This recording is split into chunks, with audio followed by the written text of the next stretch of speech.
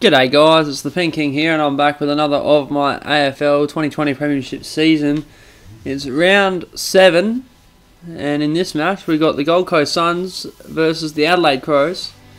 Before we get into this, I was interested to find out why Gold Coast weren't playing any of their rookies, well not so much any of them, but all the, their main ones for the last two seasons. Uh, Jack Lukosius, Izak Rankine, Noah Anderson and Matt Rowell.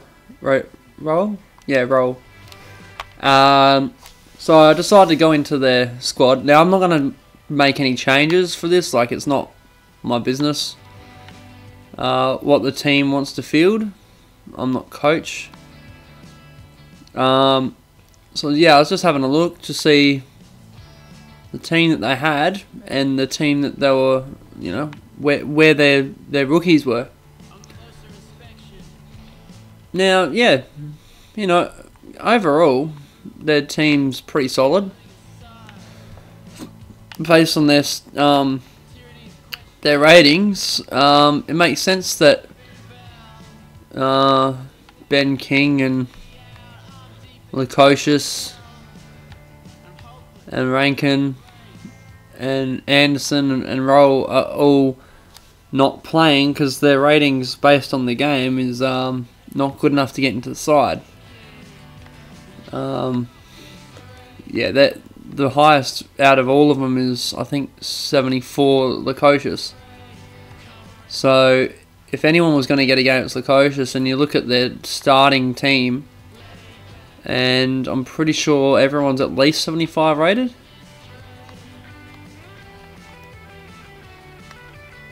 Oh no, Pearce Hanley's only 73 rated.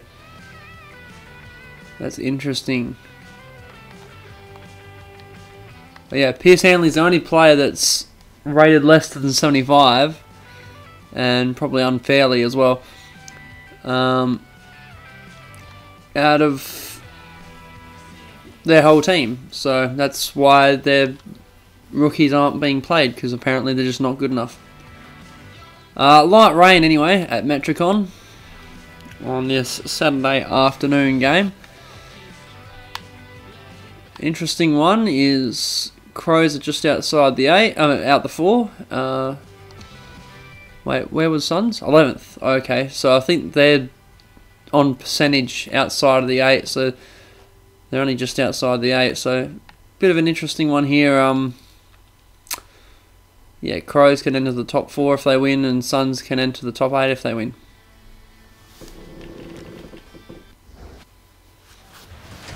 Alright, so we're up at Metricon where the Suns take on the Crows. Bit of rain about. Says we welcome you today for Saturday afternoon football. Anthony Hudson here. Welcome to Metricon Stadium. Expecting a bit of a well, uh, we're expecting a competitive game today. Gary Lyon. Hi Huddo, really excited about this one today. Here today, the clash between Alright, that's the teams. Thanks for coming. No, you don't get a banner if you're gonna bullshit about 19th man shit. a big reception for the home side. The banners are ready for the players. Can't read it because they're all, all the players are in the way. Make their way to the middle for the toss. I swear Ray just gets taller every fucking game. He just tries to be slightly shorter than the players. He's taller in some games than he is in others. Anyway, Suns won the toss and turned, decided to go right of screen.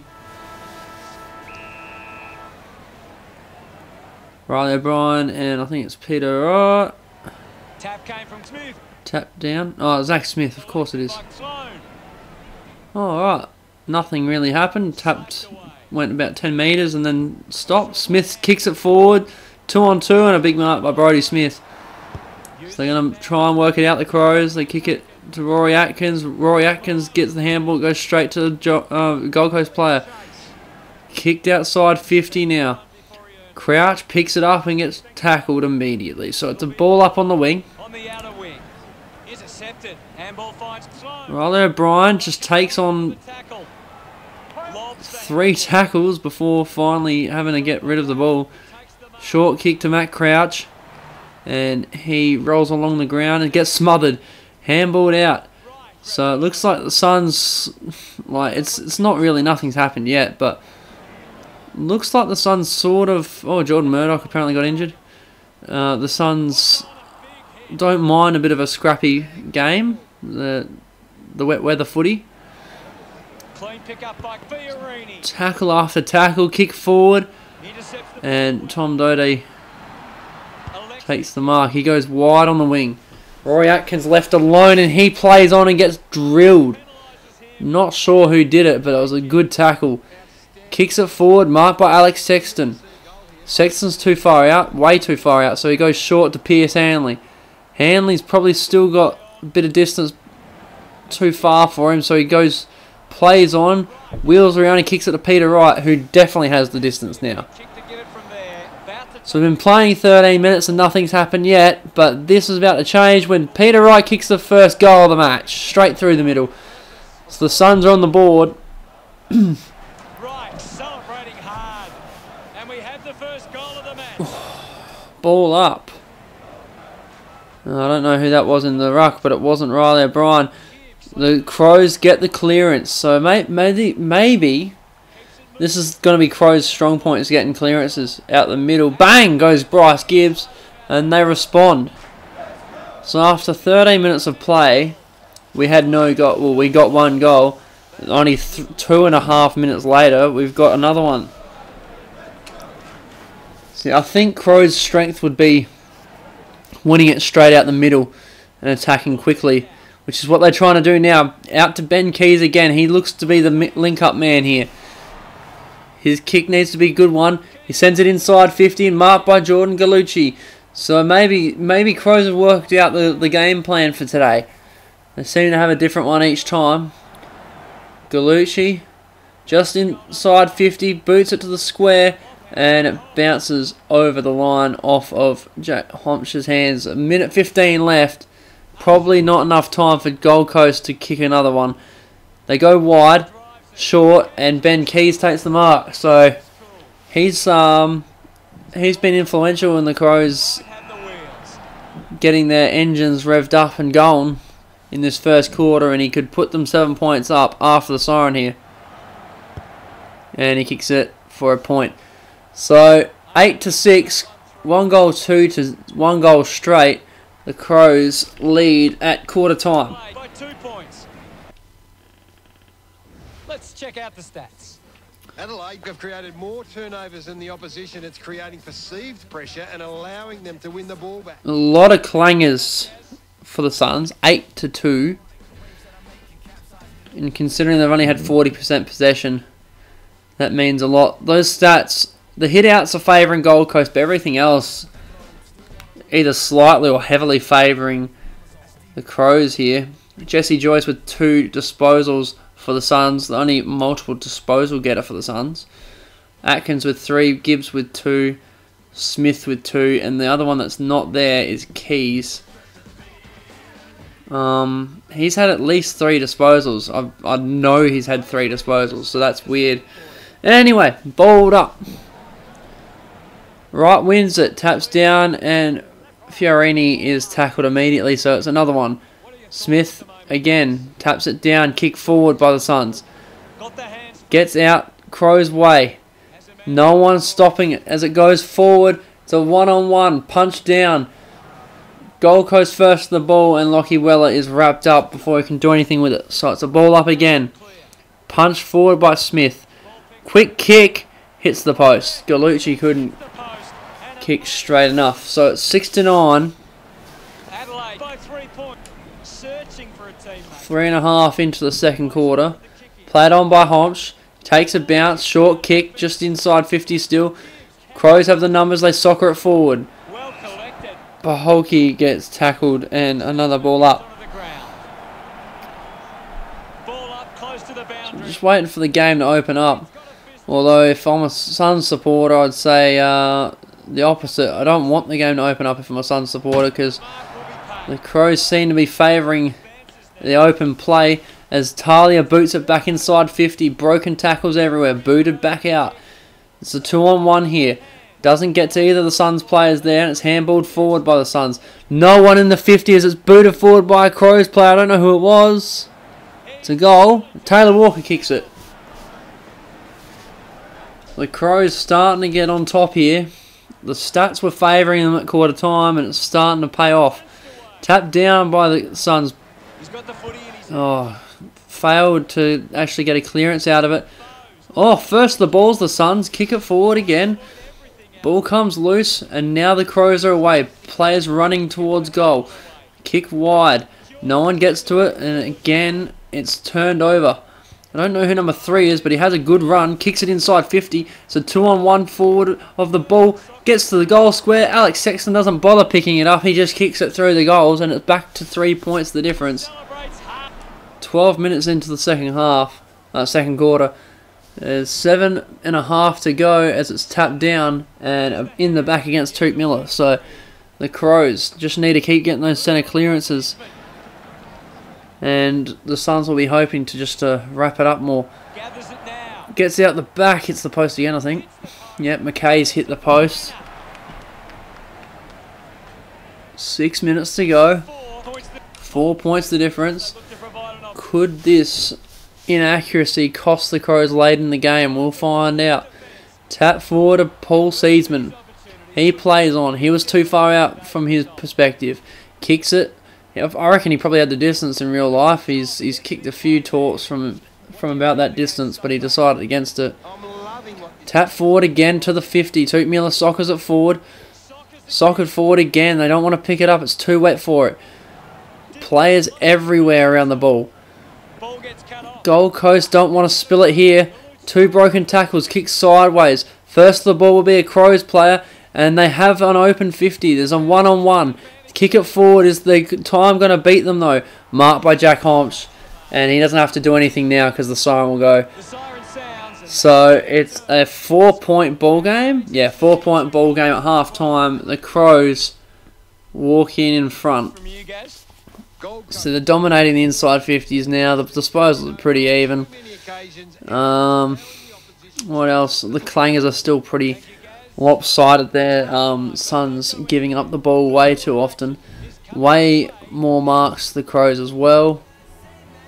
Uh, possessions evened up, and the hitouts 12 to nothing is heavily favouring the, the Suns there. So Hombsch now has four disposals, which is probably not a good thing for the, um, the Suns because he's a defender. Bryce Gibbs with four for the Crows. He's also got a goal, so he's probably best on ground at the moment. And yeah, that will that will do it for now, I think. Second half action about to commence. So the ball's bowled up for the second half to begin. Tap down. Crouch spills it loose. Don't know why you'd go backwards in that situation, but that's what the Suns do. They pick it up, spills out again. Players are all around the ball. And that second ball up is what the Suns were looking for. It's, it tends to go their way once it's balled up a second time. Soccered forward by the Crows. Keep soccering it forward, and it's a running race here. And it, guess who's going to win it? It's Brad Crouch, and he fucking sprays it. He had an open goal square. He didn't even have to kick it. But he misses, so it's five points the difference. Hombsch decides not to play on because Sloane was was it Sloane was waiting for him. So, kicks it forward. Pack mark. No one takes it though. Running in into the open 50 was Tom Lynch, and he kicks the goal. So it's 11 points the difference, and the Crows just piling it on while they can. And they did it the right way this time with a goal. Suns tap down, goes their way. Crows get first use of it though. Sloane boots it forward. A lot of players around it, and Gallucci's the one that takes the mark. He Goes back quickly, gets it inside 50, but there's Suns players everywhere. They spill it on the ground, and here's the turnover that they wanted. No, Darcy Fogarty is done for throwing the ball. Marked by Lachie Weller. You might want to just slow it down here. It goes down the wing. Sloane's in front of the pack and he picks it up, kicks it forward again. It's coming back and it goes out of bounds. Blue line wins this race. 10 minutes in the quarter to go and the Suns game in the scene like are seeing this game slip away as as it goes on. Has it now. He can Rory Atkins picks up the ball just to get tackled. Tap forward again.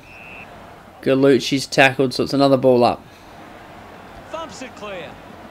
Punch forward. Sloane picks up the ball and he gets tackled. So the Suns back to their shut down ways. The only issue is they're not in front. They need to get in front before they do this. Soccered forward by the Crows. There's two on two. They just keep soccering it forward. Now the Suns pick it up, uh, soccer it forward. High tackle against Darcy Fogarty. It's been a bit undisciplined. Kick forward and guess who's under it? It's Wayne Milera. He was the only one there and he was just waiting for the ball to arrive in his hands so he can kick it to Brandon Ellis. He turns, kicks it wide onto the wing as Hugh Greenwood. He kicks it back to the centre of the ground. Marked by Rory Laird.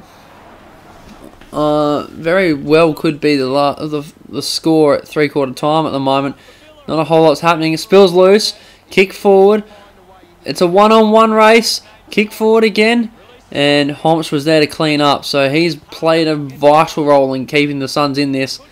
Kicked back to the centre of the ground. 30 seconds remaining. Who gets the ball? High tackle against Peter Wright. And that's the end of the quarter. Because by the time he kicks it, well, he doesn't even kick it. It's Adelaide 23. The So 11 points the difference. The Crows winning. It's not an unassailable lead, but it's getting that way. 14 inside 50s to 3 the Crows' way. We've seen play uh, teams win it from this position before, but they have to double their score for the first three quarters and double it in one quarter and end up winning. Would have to keep Crows scoreless too for that to be a win. Um, yeah, still just giving up the ball way too too frequently. The the Suns. If they were more uh, careful with the ball, they'd be all right. Hombsch with six disposals, Gallucci with five, Wallachie Weller with five. So you want to see more of the ball in the Suns' hands. They also didn't score a point in that quarter. Quickly to have any chance from here. All right, Smith taps it down. Sloane gets the clearance though. Punch forward, and the Suns are in defence again. High tackle against Myles Poholke. So this is where they got to launch their attack. And Gallucci also gives a high tackle. They're just trying to close line the players right now. A lot of players on the ball comes up, high tackling It's Bryce Gibbs. They're just giving free kick after free kick away. Kicks it to Jarrod Harbrow. He kicks it wide. It's a one on one. Suns get there first, but he can't mark it. And it's a tackle on Brad Crouch for a ball up. So four minutes have been run off the clock so far. It's just forward to centre towards Suns goals. Sloane first the ball gets tackled immediately. Spills out. Keays handballs backwards. Kicked forward by the Suns. And they're within a goal. Here we go. This is that start that they needed. Murdoch kicks the goal. Seven minutes into the quarter. margin. Just just uh just over five actually. The clock on the big screen said seven minutes. So the ball's back up, spills out, kicked to the 50 by the Suns. No mark. Picked up by a Suns player. It's a two on one here, they just need to ball out, but Rory Atkins keeps it in for a ball up on the Suns 50. Wide in the pocket. Comes out, there's players everywhere. Suns have the extra number and they're in front! What a kick from Hugh Greenwood against the old team. He wants to show him them that who's boss, and gives a bit of a rib tickle for. I don't know who it was actually, but he yeah he gives him a rib tickle on the way past. Look at that, just bang one step, sends it straight towards goal, and it goes straight over the goal umpire's head. It's a point in the difference and there's eight minutes to go. So the Suns have have the momentum. Uh, forgotten his name. Zach Smith soccers it forward. It's back inside their 50, but the rebound 50 might be coming. Kicked out to Paul Seedsman. He plays on. He takes a bounce. He runs to the 50. He kicks it and he puts them back in front. Paul Seedsman kicks a ripper, and the Crows are back in front by five. Nine to go in the game. Balled up, Zach Smith taps down. Suns just can't get that clean clearance. They just get pull, pulled up each time. Tex is also in the uh, in the ruck at the moment. Booted forward. Is that Murdoch under it? It is. He takes the mark. He's inside range. This to put them back in front with seven to go. Well, less than seven by the time he kicks it. Bit of a rest. Here he goes, bang. A chance to put us And it's not accurate enough. So they're down by four. Accurate goal kicking was what they needed, and they haven't got it with that kick. Murdoch would be upset with himself. Kick short, wide. Comes forward of the pack. Broken tackle. Handballed backwards. Shouldn't have done that. Should have held it in. Ball comes back to the 50, and McKay's tackles a five to go. It's a very tight game. Lopsided. Alex Sexton turns and kicks a goal. The Suns back in front. Four minutes, 15, or 16 seconds to go in the game. And the Suns are up by two. back in front. Winning it. Is there another twist to this tale? Handball forward. Suns can't keep control of the ball. It's turned over. Jack Bowes gets the ball before he gets tackled. Sexton comes off. He could possibly be the match winner here. And he's coming off the ground with three to go. Lopsided ruck tap again. Socket forward. That's all they need to do right now. Keep moving it forward. It keeps just spilling out, but it's going the Suns' way.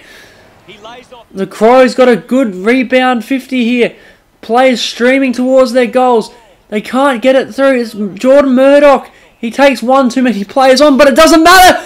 The time's run out on the Crows, and the Suns have won it. They've doubled their own score. Gary, any final thoughts? The Crows kicked one to put themselves back in front, and then they bang it in with five to go on the clock. And they hold them off to win the match. The Crows, I think they've lost a couple in a row here.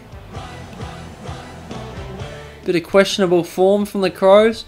The Suns, I think they just got smashed by the G- GWS, but they've turned and rebounded off that loss Thanks to Gary Lyon. with see you all. It's been my a bit of an upset victory here. I guess every every game they wins an upset. But 30 clangers they had this game. They lost the inside 50 count 16 to 9. And I think the only thing that really kept them in it was the hitouts, which is why I think Zach Smith is player of the match. Uh, Hombsch is probably up there as well. Gallucci will be up there. Weller will be up there. Sexton will be up there. I think.